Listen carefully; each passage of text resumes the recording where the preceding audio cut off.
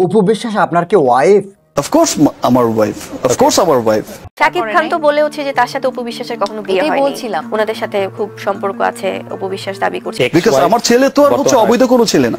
সাকিব পরিবার এবং সাকিব খান অপু ম্যাডামকে মেনে নিয়েছেন। সাকিব ছাড়া অন্য নাম জানি না। আরে ভাই আমি এই নাম ছাড়া তো আর কোনো ছেলে মানুষের নামই জানি না। তবে বলব কোথায় থেকে? আমি জানতাম সাকিব ফিরবেই। আহ, আমি তো এমন না যে আমি ছিলাম না আমি তো ছিলাম প্রেজেন্ট মানে আমরা ধারণা করেছি যে সাকিব বাবু অলরেডি ফিরেছেন সংসার করছেন। কিন্তু পারিবারিক বিষয়টা আর সোশ্যাল মিডিয়ায় আসবেই না। বাট আমি যেটা আমি যেটা বলছি যে সেটা যাই হয়েছে হয়েছে। আমি তার অস্বীকার করছি না আর অস্বীকার করতে পারব না বিকজ আই লাভ মাই সান আমার ফ্যামিলি তো চায় যে আমি সেটেল হই। একটা ধুমধাম কিছু হোক। আচ্ছা দিদি আমরা জানতে পেরেছি যে আলুর প্রতি আপনার এতটাই বিদ্বেষ। তারপরও আপনি নাকি মাসে প্রচুর কেজি কেজি করে আলু কেনেন বাসায় পচিয়ে ফেলার জন্য। আসলে আপনার রিয়াকশনটা জানতে চাই। বুবলি ম্যাডাম এবং তার বোন মিলে আপনাকে পচা আলু বলেছিল।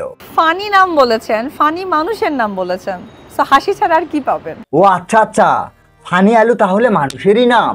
আমরা তো বগুড়ার মানুষ। বগুড়ার যদি ভেজিটেবল বলা হয় তাহলে এক নামে আলু। ঠিক না? আর বগুড়ার মানুষ হচ্ছে গিয়ে কাঁচামরিচ। আলু এমন একটা জিনিস আপনি বিশ্বাস করেন স্টোরেজ করবেন সামও একটা আলু যদি পচে যায় তো বাকি আলুকে গায়ে লেগে লেগে লেগে লেগে লেগে লেগে। লেগে লেগে সব পচে। তার মানে আপনি বোঝাতে চান, বুবলি ম্যাডামের পরিবারটা আলু পচার মতোই। আর আলু ভর্তা বানানোর জন্য কাঁচা মরিচের প্রয়োজন পড়ে। উপু ম্যাডাম আসলেই কাঁচা মরিচ কাঁচা মরিচটা খুব মুখরোচক হয়ে থাকে। আর সেই মুখরোচক রান্না এবং সন্তান আব্রাহাম খান জয়ের বদলতে সাকিব পরিবারে ফিরলেন অপু বিশ্বাস। সাকিব পরিবার এবং সাকিব খান অপু ম্যাডামকে মেনে নিয়েছেন। আর সেই কারণে অপু দি ঈদ কাটিয়েছেন শ্বশুর বাড়ি ননদ, শাশুড়ি এবং শ্বশুরের সাথে। আবার ঈদ সংসার করতে চলেছেন সাকিব খান এবং অপু বিশ্বাস দম্পতি।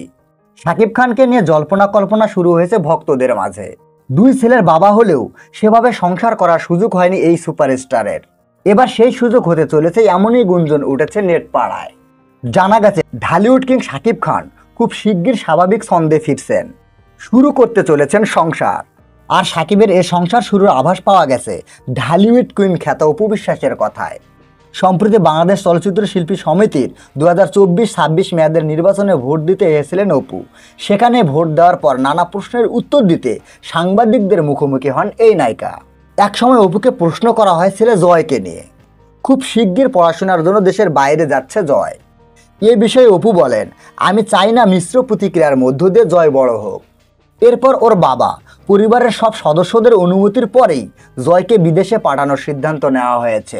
যেহেতু জয় এখন ছোট, তাই বিদেশে ও একা থাকবে না। বাবা মা হিসেবে জয়ের পাশে তারাও থাকবেন কিনা?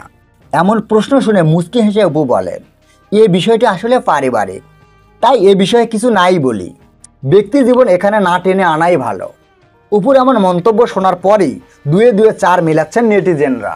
মন্তব্যের ঘরে বেশিরভাগ নেটিজেনই লিখেছেন আমেরিকায় নয় মাস কাটানোর সময়েই অপুর প্রতি ফের দুর্বল হয়ে পড়েছেন সাকিব আবার নেটিজেনদের একাংশ লিখেছেন, প্রথম প্রেম ভুলতে পারেননি সাকিব অপু